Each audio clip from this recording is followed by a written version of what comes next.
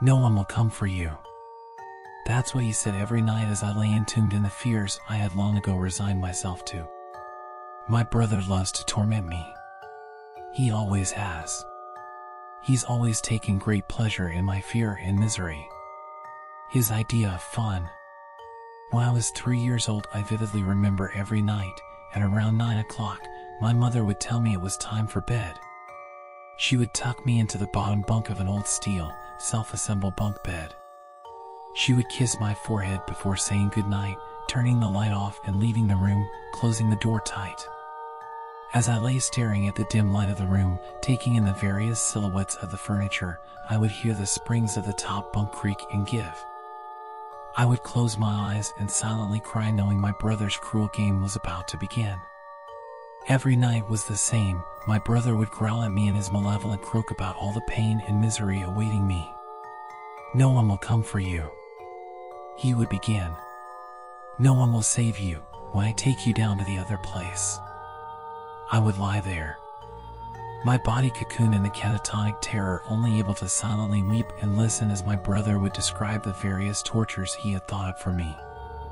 Like breaking all my bones one by one so slowly that, by the slow deliberate snap of my last rib, my fingers would have already somewhat healed allowing him to start again and again, forever. He would tell me that one day he would deliver on his threats, but for now, it was more fun to just tell me what he had in store. My brother loves to torment me. So yeah, this was my childhood up until I turned seven. My father decided that it was time to get rid of the bunk beds. He had bought them when my mother was pregnant. We live in a small flat in London, not a lot of room at all.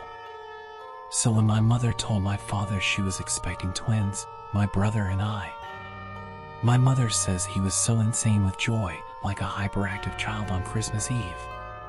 He went out to the bed store that day and bought that damned steel bunk bed saying it was the perfect solution for our lack of room. Even though he knew the bunk bed wouldn't be used until we were at least two and a half years old, he had our bedroom fully decorated and furnished, complete with bunk beds two months before we were born. I say we, sadly my brother died whilst my mother was giving birth, so I should say before I was born. I don't know much about what happened exactly. I'm very hesitant to ask my parents as the mention of the subject sends the two into tears and well, it's just not spoken about in our home. I can't believe how well I still remember those days. I'm 27 now. I've got my own little flat, an okay job, and a beautiful collection of sleeping pills. I'm taking a whole bottle tonight. I'm going to finally sleep tonight.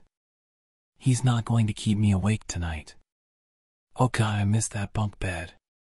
At least when he had the top bunk, I couldn't see him. My brother loves to torment me.